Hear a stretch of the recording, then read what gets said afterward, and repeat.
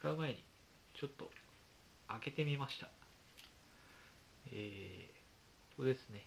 防水ケースの外し口。一回ですね今開けてみようと思ってここを一生懸命やってみました。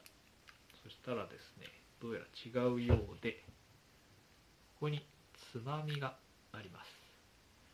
つまみを引いてカチッするとパカッ開きましたはい